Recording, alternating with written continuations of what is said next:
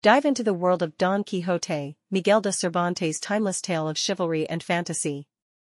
Meet Alonso Quixano, an ordinary man from La Mancha, who, inspired by romantic novels, transforms himself into Don Quixote, a self-proclaimed knight-errant. Accompanied by his practical squire, Sancho Panza, Don Quixote embarks on a series of absurd and humorous adventures, mistaking windmills for giants and inns for castles. Through his delusions and noble quests, the novel explores the boundaries between reality and imagination, satirizing the social and literary conventions of the time. Don Quixote is